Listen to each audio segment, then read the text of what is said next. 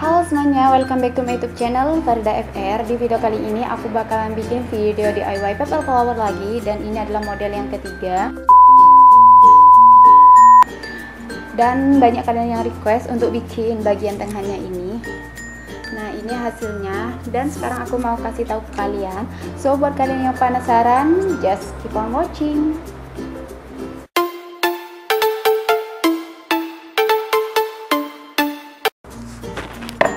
Okay, jadi di sini aku udah nyiapin. Jadi di sini aku udah nyiapin uh, kelopaknya dan aku udah buat dan ini model seperti model yang kedua. Jadi aku buat ukuran yang ini ada 5 dan ini udah aku gunting di bagian bawahnya dan udah aku lekukan juga. Ini ada 5 lembar gitu, ada 5 kelopak. Terus uh, yang agak besar lagi juga ada 5 dan udah aku gunting di bagian bawahnya juga dan kelopaknya eh kelopaknya. Dan udah aku lakukan juga. Dan aku juga sediain ini. Oke langsung aja kita rangkai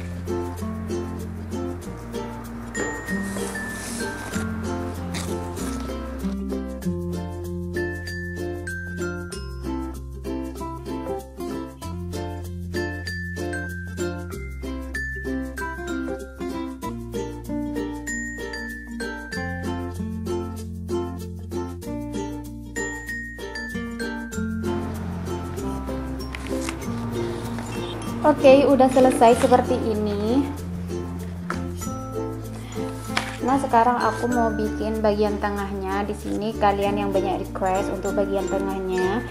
Dan aku itu pakai kertas ini. Ini tuh kertas sukun, kertas sukun yang mengkilat gitu sih.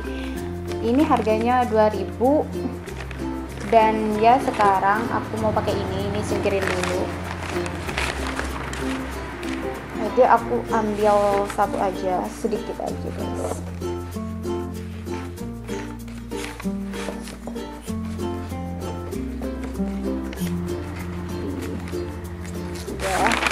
Singkirin dulu. Terus kita itu bikin uh, lingkaran gitu di bagian tengahnya tuh bagian tengahnya. Dan di sini lingkarannya itu nggak harus yang lingkaran clear lingkaran gitu sih. Kita uh, apa nggak rata gitu ya terserah. Terserah sih cuman nggak lingkaran banget gitu ya. Pokoknya ini bulat nggak bulat lingkaran.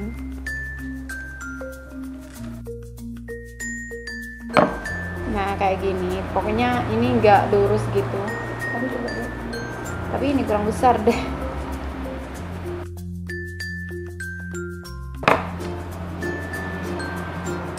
Nah kayak gini udah kayak gini sekarang kita buat panjangannya gitu.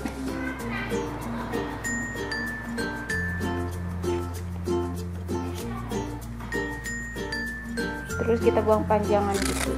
Panjangan kayak gini kalian harus lihat sih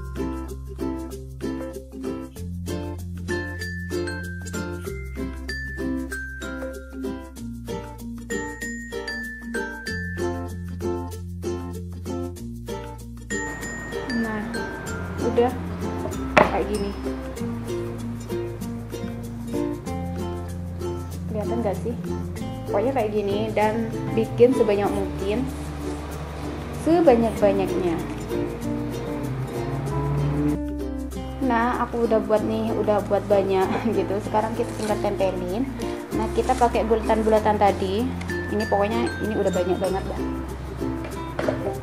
sekarang kita tempelin pakai yang bulat-bulat tadi yang kayak gini. Nah kita balik aja. Terus kita pakai lem tembak pakai lem kertas juga gak apa guys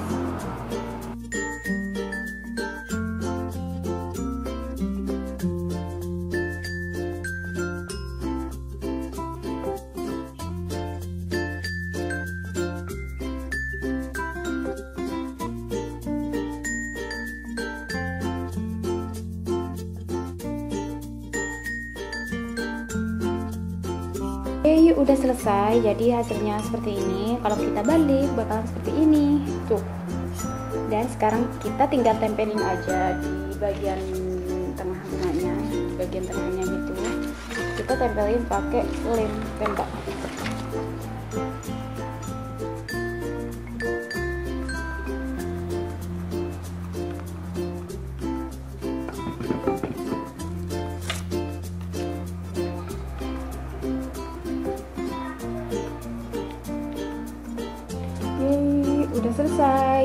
jadi hasilnya bakalan seperti ini tuh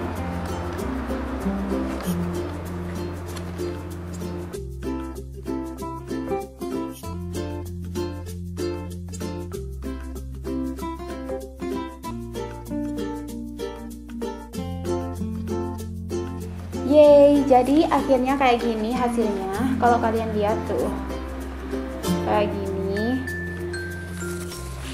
Dan ya, cukup sampai di sini aja video DIY paper flower model yang ketiga. So buat kalian yang suka jangan lupa kalian like video ini dan share ke seluruh sosial media kalian yang punya. Dan semoga video ini bermanfaat dan menginspirasi kalian untuk lebih kreatif lagi. And see you in my next video. Bye bye